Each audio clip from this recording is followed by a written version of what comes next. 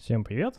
Меня зовут Лёша Кирпичников, я работаю в Контуре, руководителем направления базовой инфраструктуры, и сегодня мы с вами будем разбирать задачу 13 дня из Advent of Code 2020. Как вам уже стало очевидно из моей должности, программировать я не умею, но ничего страшного, сегодняшнюю задачу мы сможем решить и без программирования. Давайте посмотрим ее формулировку. А, мы попали на в, в порт на, на пароме, на который нас привез. Но дальше на этом пароме мы поехать не сможем, потому что оказывается, что до э, нашего острова, на котором э, мы запланировали отпуск, корабли не ходят. И нам нужно будет долететь до него опять на самолете. Поэтому нам нужно добраться из морского порта в аэропорт. И сделать это нам предлагают с помощью автобуса. А у каждого автобуса, который ходит э, в том месте, где мы находимся, из аэропорта, из э, морского порта в аэропорт, есть свой номер. И так совпало, что э, номер автобуса — это э, столько минут, сколько у этого автобуса занимает проехать полностью свой маршрут. То есть если а, автобус имеет номер 5, то значит, что каждые 5 минут он приезжает в морской порт. Ну и, соответственно, каждые 5 минут он при, прибывает в аэропорт. А в качестве э, задания нам выдадут расписание автобусов, которое выглядит э, так. В первой строчке э, момент времени, когда мы приехали на остановку автобуса, ну или пришли на остановку автобуса в морском порту. Это такой аналог Unix timestamp, только не в секундах, а в минутах.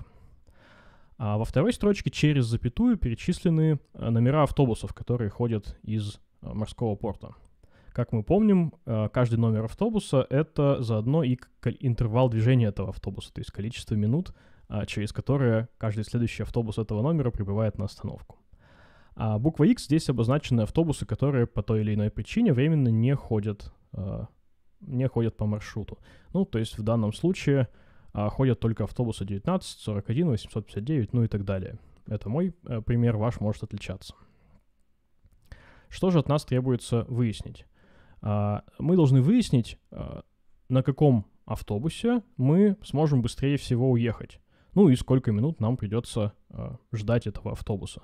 В качестве ответа от нас требует произведение номера автобуса и того, сколько минут мы сможем ждать. Мы должны будем ждать. Собственно, в примере, здесь есть небольшой простой пример, когда мы прибыли на остановку в момент времени 939, и на ней ходят автобусы 7, 13, 59, 31 и 19. А составив такую небольшую таблицу, когда какой автобус приезжает на остановку, ну, здесь видно, что 7 приезжает каждые 7 минут, 13 каждые 13 минут, ну и так далее. Для остальных здесь пример не влез. А мы можем легко по этой таблице понять, что если мы в момент времени 939 пришли на остановку, то первый же автобус, который придет, будет автобус номер 59. Он приедет в момент времени 944, и, э, собственно, на нем мы уедем. А подождать нам придется 5 минут, автобус номер 59, если перемножить эти два числа, то получится 295. Собственно, это и есть ответ э, в случае примера, который нам приводят. Ну, нам надо посчитать э, ответ для нашего примера. А, в принципе, понятно, что это задача на остатки, поскольку за вот это вот прошедшее с нулевого момента времени э, количество минут каждый из автобусов э, проехал какое-то целое количество кругов полных, да, которое э, получается в, э, после целочисленного деления на его номер. Да, и остался какой-то остаток, который определяет, сколько нам нужно времени ждать, пока этот автобус снова приедет на остановку. Ну, давайте возьмем э, какой-нибудь простой инструмент, который нам позволит посчитать остатки э, отделения вот этого нашего таймстемпа на, э, на номера автобусов. Э, остатки получились вот такие, но э, тут надо понимать, что это еще не, ведет, не ответ пока на нашу задачу, да, потому что это инвертированный остаток. То есть это не, столько, не сколько времени нужно ждать до следующего автобуса, это сколько времени прошло с того, как э, автобус в прошлый раз приезжал на остановку. Это остаток отделения. Вот целое количество раз автобус номер 19 а, проехал через а, морской порт, и еще 4 минуты прошло с тех пор. Ну, значит, осталось 15 ждать до следующего. Да? А, конечно, проще будет, если мы получим не сколько минут прошло, а сколько осталось ждать. Для этого можно просто а, приставить минус к какой-нибудь из частей, либо к тому числу, которое мы делим, либо к тому, на которое мы делим. Ну, быстрее, конечно, один минусик поставить, чем несколько. Вот, поэтому я поставлю один, и вот у меня получилось, э, получился ответ, сколько времени нужно ждать каждый из автобусов. Ну, легко, поскольку наш пример очень маленький, то легко глазами увидеть, что быстрее всего приедет автобус номер 29, третий с конца, и ждать его понадобится 7 минут. Ну, умножая 7 на 29, а, мы и получаем ответ, а, который в моем случае составляет 203. Перейдем ко второй части задачи. Вторая часть задачи э, немножко сложнее, и ее немножко сложнее будет решить без программирования, но мы все равно, я думаю, сможем это сделать. Вторая часть задания а, такова. А, нам дается тот же самый список а, автобусных номеров, как и раньше. В этот раз а, первую строчку с моментом времени мы игнорируем, она нам не нужна. А посчитать нас просят вот что. Нас просят привести самую маленькую отметку времени — в которую произойдет такой, ну, я не знаю, можно, наверное, сравнить это с парадом планет, только в нашем случае это не планеты, а автобусы. То есть нас просят привести такой момент времени наименьший, когда автобусы будут приезжать по очереди друг за другом с интервалом в минуту. Ну, если у нас в списке первый автобус э, номер 7,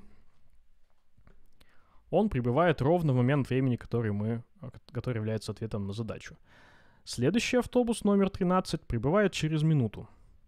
А дальше в нашем вводе идут два икса после 13 автобуса. А в случае второй задачи мы эти иксы не игнорируем, как в первой задаче, а мы должны а, это время пропустить.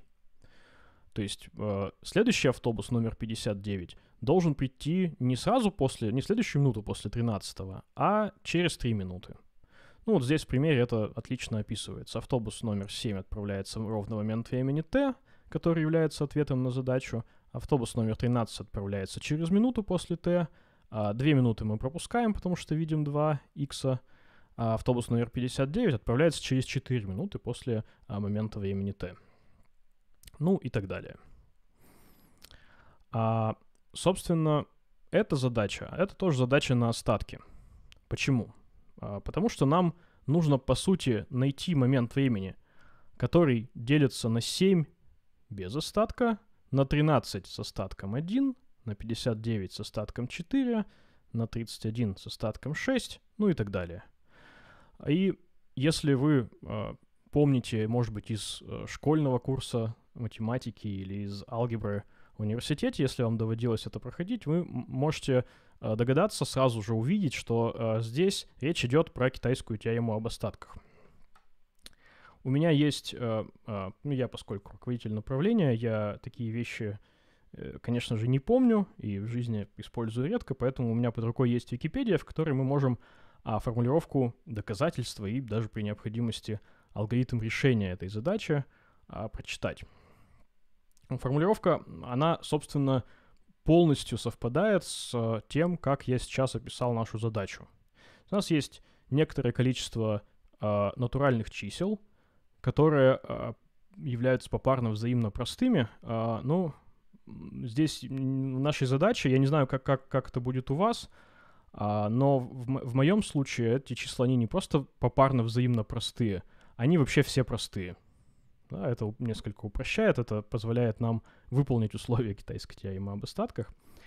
А, так вот, а, мы, у нас есть некоторое количество а, попарно взаимно простых чисел, и, собственно, мы можем а, с помощью этой теоремы найти некоторое число n, которое определение на каждое из этих чисел дает а, определенный остаток, который у нас тоже а, приведен, вот. Ну и э, все такие числа, э, если их окажется несколько, то все они равны по модулю произведения. Ну, то есть одно из них будет э, наименьшим, а как раз наименьшее нам и нужно найти. Собственно, обычно реализация алгоритма э, как раз выводит наименьшее из таких чисел. Вот, собственно, э, это нам и нужно, потому что наши э, натуральные числа — это номера автобусов, да, номера автобусов — а, на которые мы будем делить наш вот этот, наш, наш вот этот вот искомый момент времени, а, который нас просят ответить. И при делении этого искомого момента времени на номера автобусов мы будем получать остатки. При, ну, в данном случае, в случае примера, а, при делении на 7 мы будем получать остаток 0, то есть ровно в этот момент времени придет седьмой автобус. При делении на 13 мы будем получать остаток 1, ну и так далее. А вот этот вот результат, а, известный нам а, с аж 1247 года, да, как написано в Википедии, он настолько, настолько общеизвестен, что ли, что, конечно, реализовывать его вручную а, мы не будем. Для большинства распространенных языков программирования есть реализация, легко доступная в интернете. Более того, есть реализация этого алгоритма, которая доступна просто в виде калькулятора на сайте. Ну, на том же сайте, где я проверял, э, простые числа или нет. Э, я здесь уже заранее занес э, табличку с нашими номерами автобусов. Вот они. А остатки я опять ввел э, в виде отрицательных чисел. Ну, здесь мне пришлось, конечно, э, немножко так неприятно было, пришлось, конечно, посчитать иксы, да, но если, э, если посчитать иксы, ну, то есть нужно, нужно посчитать остатки, да, тут иксов очень много, но, в принципе, это сделать несложно, и это, конечно, быстрее сделать, чем что, что бы то ни было программировать. Вот, окажется, что, э, ну, позиции вот этих вот автобусов, они, они вот такие. Я, я их ввел а, опять э, с отрицательными числами, ну, потому что нам нужно ждать, да, нам нужно не, не, не сколько времени назад автобус пришел, да, а нам нужно сколько времени ждать нам осталось. Вот, ну и, собственно, если э, посчитать ответ, а ответ получается вот такой, тут порядка 900, 900 триллионов, да, этот ответ и оказывается ответом на нашу задачу. Ну, вот так мы решили задачу 13 дня Advent of Code 2020, а, совершенно без всякого программирования. А, надеюсь, что в следующие дни попрограммировать все-таки придется, но сегодня я думаю, что это был самый быстрый способ решить нашу задачу. Спасибо за внимание, слушайте наши обзоры а, завтра, послезавтра и до 25 декабря. Спасибо, всем пока.